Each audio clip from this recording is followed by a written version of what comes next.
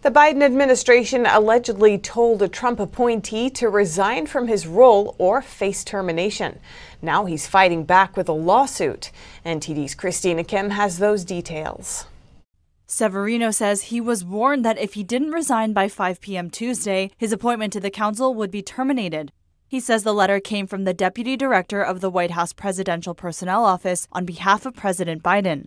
Roger Severino, a former Health and Human Services official, was appointed to the Council of Administrative Conference of the United States, or ACUS, by President Trump in August and reappointed on January 16th. The ACUS is a federal agency that recommends improvements to administrative process and procedure.